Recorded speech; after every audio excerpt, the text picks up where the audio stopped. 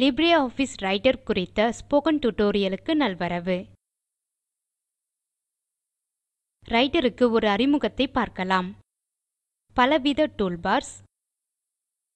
புதிய ஒரு டாக்குமெண்ட்டையும் பழைய டாக்குமெண்ட்டையும் திறப்பது டாக்குமெண்ட்டை சேமிப்பது டாக்குமெண்ட்டை மூடுவது ஆகியன லிப்ரே ஆஃபீஸ் சூட்டில் உள்ள வேர்ட் ப்ராசஸர் தான் லிப்ரே ஆஃபீஸ் ரைட்டர் இது மைக்ரோசாஃப்ட் ஆஃபிஸ் சூட்டில் மைக்ரோசாஃப்ட் வேர்டுக்கு சமம் இது ஒரு இலவச திறந்த மூல மென்பொருள் இதை பகிர மாற்ற விநியோகம் செய்ய தடையேதுமில்லை லைசன்ஸ் கட்டணம் இல்லாமல் இதை பகிர்ந்து கொள்ளலாம் ஆஃபீஸ் சூட்டை பயன்படுத்த துவங்க Microsoft Windows 2000 MS Windows XP அல்லது எம்எஸ் விண்டோஸ் செவன் ஆகியவற்றையோ அல்லது gnu லினக்ஸையோ ஆப்பரேட்டிங் சிஸ்டமாக பயன்படுத்தலாம் இங்கு Ubuntu Linux ten point zero four நம் operating system Libre office suite பதிப்பு three three point point four Libre office suite நிறுவப்படாவிட்டால் ரைட்டரை சினாப்டிக் பேக்கேஜ் மேனேஜர் மூலம் நிறுவிக்கொள்ளலாம் சினாப்டிக் பேக்கேஜ் மேனேஜர் குறித்த மேல் தகவல்களுக்கு உபுண்டு லினக்ஸ் டுடோரியல்களை பாருங்கள் பின் இந்த வலைத்தளத்தில் சொன்னபடி தரவிறக்கிக் கொள்ளுங்கள் விரிவான குறிப்புகள் லிப்ரே ஆஃபீஸ் சூட்டின் முதல் டுடோரியலில் இருக்கிறது ரைட்டரை நிறுவும் போது கம்ப்ளீட் ஆப்ஷனை மறவாதீர்கள் ஆஃபீஸ் சூட்டை ஏற்கனவே நிறுவியிருந்தால் லிப்ரியாஃபிஸ் ரைட்டரை கண்டுபிடிக்க திரையின் இடது மேல் மூலையில் உள்ள அப்ளிகேஷன்ஸ் மீது சொடுக்கவும் பின் முறையே ஆஃபிஸ் லிப்ரியாஃபிஸ் ஆப்ஷன்களில் சொடுக்கவும் திறக்கும் புதிய டயலாக் boxயில் லிப்ரியாஃபிஸ் மென்பொருட்கள் இருக்கும் லிப்ரியாஃபிஸ் ரைட்டரை அணுக டெக்ஸ்ட் டாக்குமென்ட் ஆப்ஷன் இல் சொடுக்கவும் இதுவே அதன் வோர்ட் புரோசெசர் மெயின் ரைட்டர் விண்டோவில் இது ஒரு காலி டாக்குமென்ட் ஐ திறக்கும் ரைட்டர் ஆப்ஷனில் பல டூல்பார்கள் உள்ளன அவை title bar menu bar standard toolbar formatting bar மற்றும் ஸ்டேட்டஸ் பார் இவற்றில் சாதாரணமாக நாம் அடிக்கடி பயன்படுத்தும் ஆப்ஷன்கள் உள்ளன இவை குறித்து மேல்வரும் டுடோரியல்கள் கற்பிக்கும் புதிய டாக்குமெண்ட் ஒன்றை ரைட்டர் திறப்பதுடன் ஆரம்பிக்கலாம் ஸ்டாண்டார்ட் டூல்பார் ல் நியூ சின்னத்தை சொடுக்கி புதிய டாக்குமென்ட் ஐ திறக்கலாம் அல்லது மெனு பார் ல் பைல் ஆப்ஷன் பின் நியூ தேர்வு கடைசியாக டெக்ஸ்ட் டாக்குமெண்ட் ஆப்ஷனை சொடுக்குவதன் மூலம் புதிய ரைட்டர் ஆப்ஷன் இரண்டு விதத்தில் தோன்றுகிறது இப்போது ஏதேனும் டெக்ஸ்ட் எடிட்டர் ஏரியாவில் இடலாம் ரெச்யூம் என டைப் செய்வோம் டாக்குமென்ட்டை எழுதி அதை பின்னே பயன்படுத்த சேமிக்க வேண்டும் சேமிக்க மெனு பாரில் ஃபைல் பின் சேவ் அஸ் தேர்வில் சொடுக்கவும் திரையில் ஒரு டயலாக் பாக்ஸ் திறக்கும் அதில் நேம் ஃபீல்டில் ஃபைலின் பெயரை உள்ளிட வேண்டும் ரெஸ்யூம் என பெயரிடலாம் நேம் ஃபீல்டின் கீழ் சேவ் இன் ஃபோல்டர் என்று இருக்கிறது இந்த பீல்ட் இல் பைல் ஐ சேமிக்க வேண்டிய போல்டர் ன் பெயரை வேண்டும் சேவ் இன் போல்டர் ன் கீழ் தட்டி டெஸ்க்டாப் ஐ தேர்வு செய்க மெனுவில் ஃபைலை சேமிக்கக்கூடிய போல்டர் களின் பட்டியலை காணலாம் டெஸ்க்டாப் ஆப்ஷனில் ல் சொடுக்கலாம் பைல் டெஸ்க்டாப் சேமிக்கப்படும் ப்ரோவ்ஸ் ஃபார் அதர் ஃபோல்டர்ஸ் என்பதன் மீதும் சொடுக்கலாம் பின் டாக்குமென்ட் ஐ சேமிக்க விருப்பமான போல்டர் தேர்ந்தெடுக்கலாம் dialog box file file type option மீது சொடுக்கவும்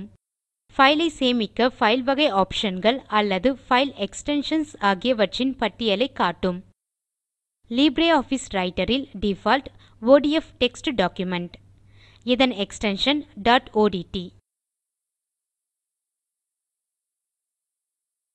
ஓடிடி என்பது ஓப்பன் டாக்குமெண்ட் ஃபார்மேட் வகையைச் சார்ந்தது ஒடிஎஃப் உலகளாவிய வர்ல்ட் documentகளுக்கு ஸ்டாண்டர்ட் வகையாகும் மின்னாளுமைக்கு திறந்த ஸ்டாண்டர்ட் ஆக இந்திய அரசாலும் அங்கீகரிக்கப்பட்டது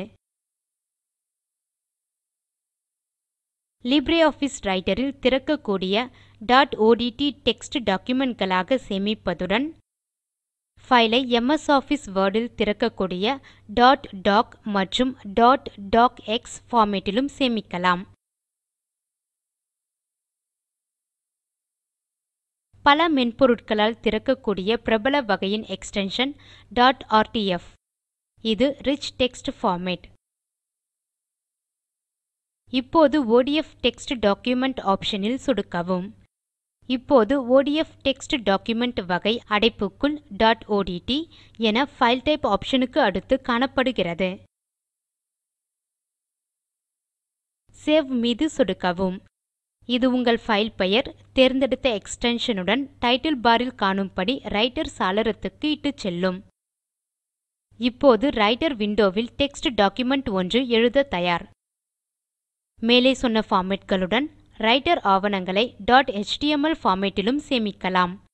இது வலைப்பக்க ஒழுங்கு இது முன் சொன்ன வழியிலேயே செய்யப்படுகிறது மேனு பார் ல் பைல் ஆப்ஷன் ல் சொடுக்கி சேவ் ஏஎஸ் தேர்வில் சொடுக்கவும் பைல் டைப் ஆப்ஷன் ல் சொடுக்கி எச்டிஎம்எல் டாக்குமெண்ட் அடைப்புக்குள் ஆஃபிஸ் டாட் ஓஆர்ஜி ரைட்டர் தேர்விலும் சொடுக்கவும் இந்த ஆப்ஷன் டாக்குமெண்ட் க்கு டாட் எச்டிஎம்எல் பின்னொட்டை தருகிறது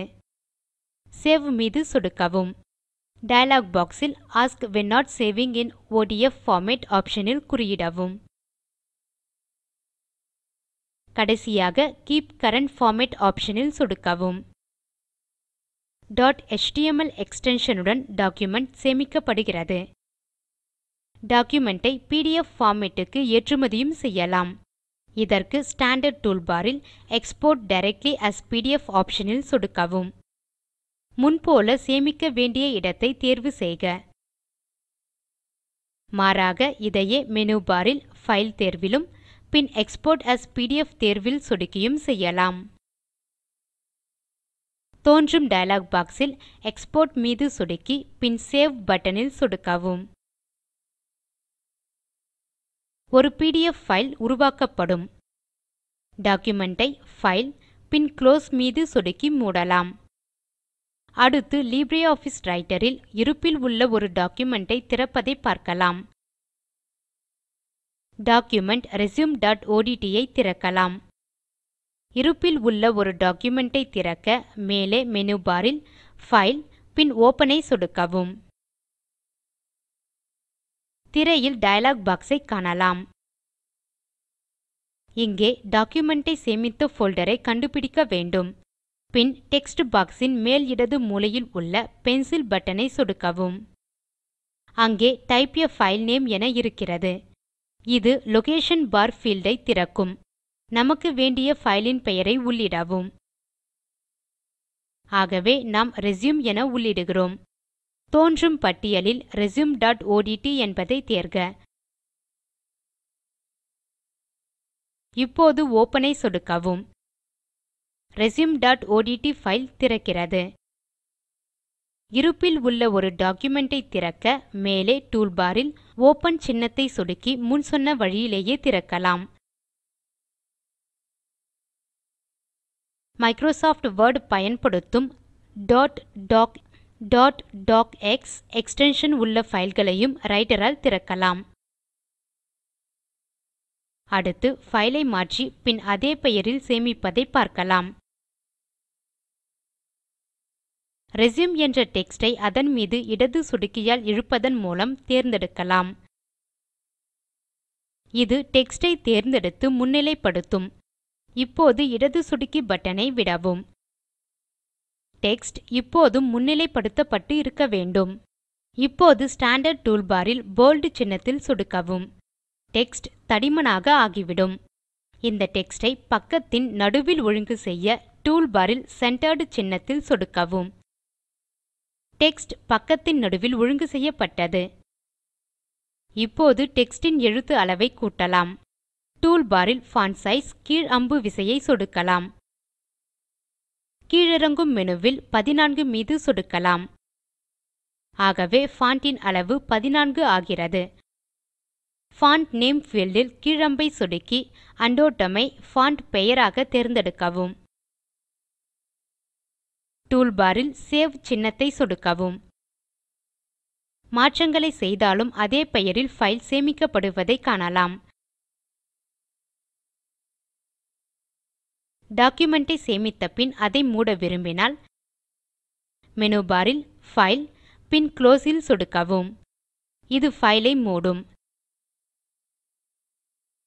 இத்துடன் லிப்ரியாஃபிஸ் ரைட்டர் குறித்த இந்த டுடோரியல் முடிவுக்கு வருகிறது நாம் கற்றது ரைட்டருக்கு அறிமுகம் ரைட்டரில் பலவித டூல்பார்ஸ் புதிய டாக்குமெண்ட்டை திறத்தல் இருப்பில் உள்ள டாக்குமெண்ட்டை திறத்தல் டாக்குமெண்ட்டை சேமித்தல் டாக்குமெண்ட்டை மூடுதல் முழுமையான பயிற்சி புதிய டாக்குமெண்ட்டை ரைட்டரில் திறத்தல் practice.odt என்ற பெயரில் டாக்குமெண்ட்டை சேமித்தல் this is my first assignment என டெக்ஸ்ட் எழுதுதல் ஃபைலை சேமித்தல் டெக்ஸ்ட் ஐ அடிக்கோடு இடுதல்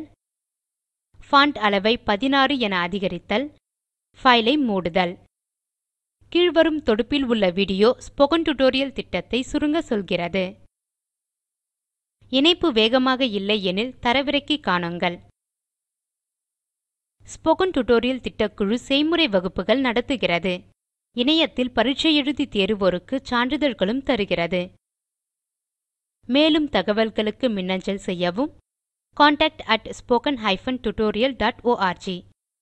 ஸ்போக்கன் டியூட்டோரியல் பாடங்கள் டாக் டு டீச்சர் திட்டத்தின் முனைப்பாகும்